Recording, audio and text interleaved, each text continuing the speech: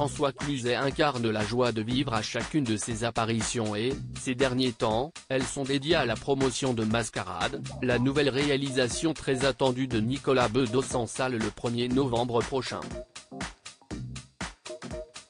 L'acteur de 67 ans y incarne le personnage de Simon, un agent immobilier crédule qui tombe sous le charme d'une sublime jeune femme, Margot, jouée par Marine Vact, qui finit par l'arnaquer. Cette joie de vivre qui le caractérise, François Cluzel l'a perdu au fil du temps à Paris, où il vivait depuis ce venu au monde le 21 septembre 1955. Lassé, voire dégoûté, le héros d'Intouchable, celui qui chassait des fouines dans sa maison de vacances du Cap Ferret dans les Petits Mouchois, a décidé de faire ses valises et partir loin, très loin. Un changement radical de vie qu'il évoque aujourd'hui auprès de nos confrères de Téléstar. Au cours de son interview à découvrir dans le nouveau numéro du magazine, programme du 5 au 11 novembre 2022, François Cluzet explique ce qui l'a poussé à quitter la capitale, qu'il avait pourtant tant aimé. Voilà 4 ans que j'ai fui Paris, la ville où j'ai vécu depuis ma naissance.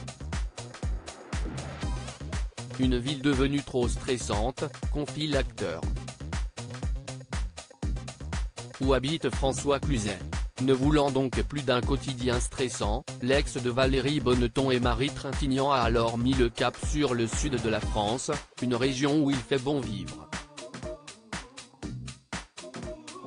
Je me suis installé dans un village provençal à 35 km de Cannes, révèle François Cluzet. Un choix qui ne doit absolument rien au hasard puisqu'il s'agit de la région de sa compagne. En couple depuis plusieurs années avec Nargis Laoui Falcoz, la star de Mascarade est aussi tombée amoureuse de la région de sa dulcinée. Les arbres me font du bien, et notre résidence donne sur la forêt, décrit l'acteur. Ce déménagement, François Cluzet est conscient qu'il a eu la chance de pouvoir le faire grâce à son métier, ce qui n'est pas permis à tous.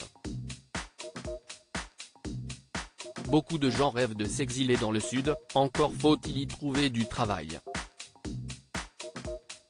J'ai de mon côté la chance de pouvoir continuer mon métier, ma passion, peu importe où j'habite, s'enthousiasme l'acteur.